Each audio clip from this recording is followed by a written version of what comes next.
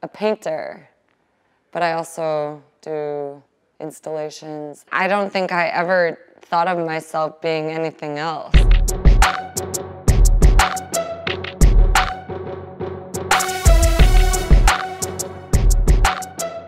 I think what has stuck with me is just how important uh, physicality is and expressing physicality and just action. I like masculine energy and I like to do big paintings and be super aggressive and fierce about it. Not that a woman can't do that, but I'm just saying that's sort of what I reign on. Doing large scale pieces just feels right to me.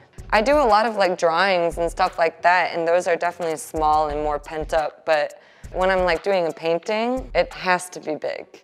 For my installation Stalker, I believe there were 48 individual pieces. It was nice to be able to have a show where people and collectors had the opportunity to buy something a bit smaller than my typical scale. I approached the project as sort of a submission to darkness in order to find a true light in a sense. When you walk into Stalker, it's very bright. And then you look closely and you see elements of darkness and they all begin to unfold and, and connect. It's intuitive and it's, um, it's like not holding anything back.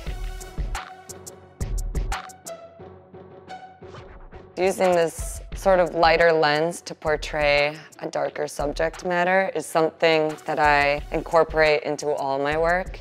I'm naturally just like a lighter looking person, but then if someone sees my work and then meets me, they would never believe it at all.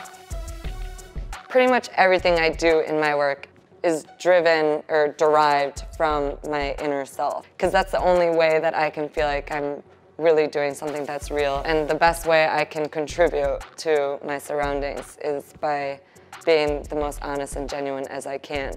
Even if it's your insides, like your guts, all splattered on this piece, you put it out there and like people love it, great.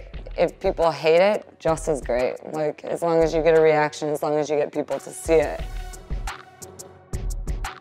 I feel like it's a certain aesthetic where very certain people are attracted to it. My experience so far is that it's very genuine, so I'm pretty ecstatic for any person who ends up collecting one of my pieces.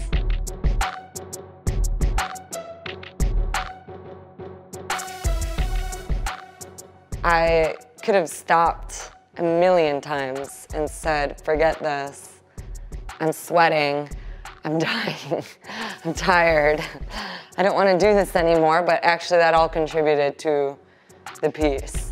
I never stop.